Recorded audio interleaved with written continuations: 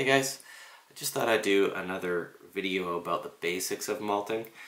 Um, just because the video I had done over three years ago now is uh, pretty bad quality and uh, I do things a little bit differently now so I just thought I'd show you guys how I do things differently. Uh, if you haven't seen any of my videos, this is a good place to start because I'm just going over some basic things on, on how you can malt your own barley at home. Uh, what I've got here is the Maris Otter barley that I grew last summer. This is five pounds. Now there are three stages in making malt. Um, there is the steeping phase. That's where you soak the barley and let it absorb water.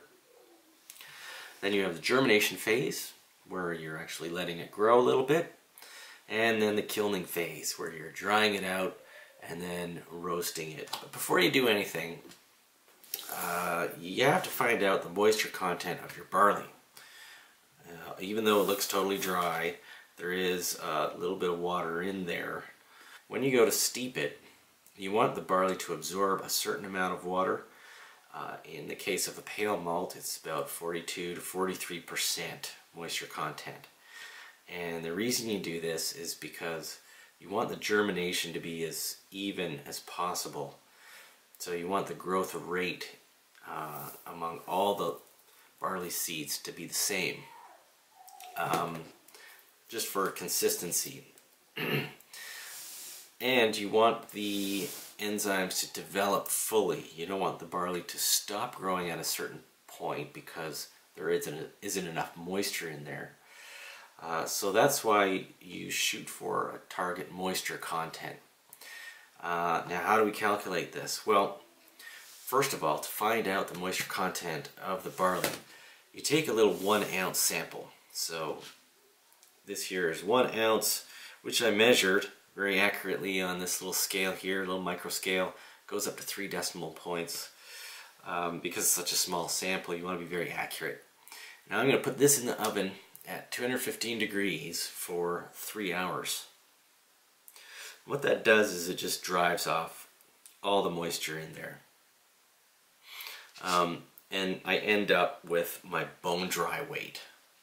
So let's pretend I've done this already um, and I've weighed it again and this one ounce sample now weighs 0.95 ounces. That means that you have a 5% moisture content. So you just, right, you're subtracting the 0.95 from one ounce and you get uh, 0.05, which is 5%, right? Um, so, multiplying that figure to this 5 pounds, I would have a bone dry weight of 4.75 pounds or 4 pounds and 12 ounces. So if I take my bone dry weight and I divide that by 0.57, I will get my target steep weight. Now why 0.57? Well, I'm going for 43% moisture content and the 0.57 represents the 57% dry weight of the total weight after steeping. So 4.75 divided by 0.57 equals 8.333 pounds. Um, so 8 and one third pounds. After I steep this a bunch of times, um, when it hits that 8 pounds and 5 ounces, that means that it's going to have a 43% moisture content in it. And then I can start germinating. When I'm steeping, I'm just going to fill this up with water and I'm going to keep it in a cool or cold place um, for eight hours. Now the reason I want the temperature down, I want it below 15 degrees Celsius. And the reason for that is there's lots of bacteria on the husks of the barley and if that's allowed to multiply, your barley goes off pretty quickly. It'll smell kind of yogurty at first, um, and then after even longer at warm temperatures, it'll it'll get really disgusting. Actually, a really awful smell. Um, so you keep it cool. Um, I like to keep it outside if, uh, if it's cool enough, if it's during the winter, or in a garage or something like that. Um, and after eight hours, I'm going to drain it and let it rest for another eight hours. This is an important step because the grain has to absorb oxygen. If it doesn't absorb oxygen, then you might suffocate the grain and it, it won't grow anymore. It may take up to four steeps to reach my target moisture content. That's pretty normal. So I'll soak it for eight hours, let it rest for eight hours, soak it again for eight hours, and let it rest for eight hours like that until I get that target steep weight. Um, what you do is you just, you know, after you drain it, you weigh it and see where you're at, and then uh, you can you get a pretty good idea of how much longer you have to steep it for if you uh, weigh it while you're doing it. Okay, I'm on to day two of germination.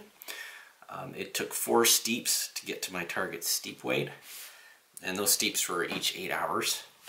Uh, because of the increase in volume of these kernels, I've had to just split it up into two containers. And the rootlets are coming out quite nicely. I'm not sure if you can see that, but uh, it's all looking pretty consistent, pretty uniform. They're all the same size. I've been keeping it in my garage at about 14 degrees Celsius. That's just because that's the, the temperature it is. Um, anywhere from 14 to 18 degrees Celsius is fine for the germination phase. Now this should take another maybe four, maybe five days to fully germinate. And then uh, I'll show you how to actually test to see if it's uh, fully converted. So this malt took seven days to reach this stage and it's ready to go into the kiln. I didn't do anything to it. It just stayed in these bins um, at about 14 degrees.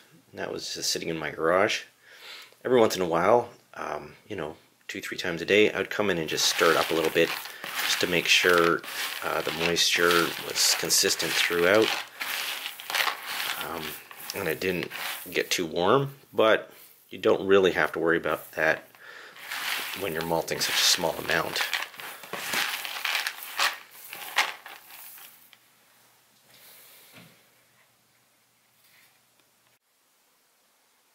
Okay, let me show you how to tell when your malt is done. Um, first thing you want to look at is the length of the acrospire and that you'll find along the back of the grain. Uh, you can kind of see it through the husk but usually just sort of, whoops. Okay, let's try that again. So you just uh, tear it open and it'll sort of pop out. And you want the acrospire to be about three quarters of the length of the grain. This one's kind of short. It's actually only about half. Uh, but our next test is actually more important and that's to see how well modified it is. You take the starchy part out and rub it against your finger. Now if it forms chalky paste just like it did there then you know your malt is fully modified. Um, if it just balls up and makes these gummy sort of balls and doesn't spread out at all, then it's not quite done. It's been actually eight days since I started germinating these and they're ready for the kiln. So what I did was just air dried them for 24 hours and I did this just with uh, a fan and I had them on these racks so the air would flow through.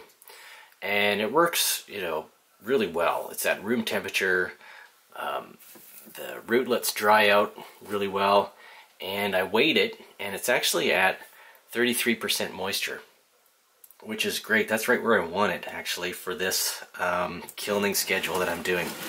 Now normally what I usually do is I kiln the malt at under 50 degrees Celsius for well until the moisture content is below 10% once it gets below 10% the enzymes won't uh, get as damaged um, and they'll be safe so you can raise the temperature and actually cure it at that stage. Um, but if it's over 10%, then you risk run the risk of having a lower diastatic power because the enzymes will get damaged if uh, there's more moisture in there.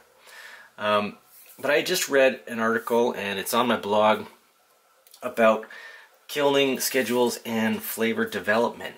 And what that article showed was that you get more multi flavors if you kiln at a slightly higher temperature when the grain is at uh, 35 to 25% moisture content. So that's what I'm going to try uh, for this batch. It's at 33% and I'm going to start kilning it at 60 degrees and slowly raise it up to about 68 um, and I'm going to do that for I'm thinking it's going to be about six hours and at that stage I'm hoping the moisture content will actually be down to about 10% and then I'm just going to start um, curing it at about 80 or 90 degrees. Uh, for my heat source, um, my oven doesn't go low enough, doesn't reach those temperatures. I think my lowest temperature is about 70 degrees. So what I'm using is one of these little hot plates. Oops. And the great thing about these is they have a little um, thermostat built in and you can adjust the temperature. So you just have to figure out you know um, what it actually what temperature you can reach in your oven and just make a little mark on the dial because it's not going to be the same as what, what the dial reads. Um, yeah, and the cord just goes right under the door. Most ovens have enough space for a cord to fit under there. And then the extension cord I've got is sort of sitting in the drawer underneath the oven. And it's uh, kind of tucked in out of the way. Um, so that works pretty good. Again, you know, you can probably fit two more shelves in here. But I'm just doing five pounds because I have some grain left over that I'm going to be using. Uh, I don't think it's necessary to have a fan. I used to put a fan on top of the oven vent just to get the air flowing through. But uh, with such a small amount, it uh, really isn't necessary. Um, it, it dries fast enough, just like that. Alright, let's start kilning. And there it is. It spent three hours at 60 degrees, two hours at 79 degrees, and two hours at 90 degrees.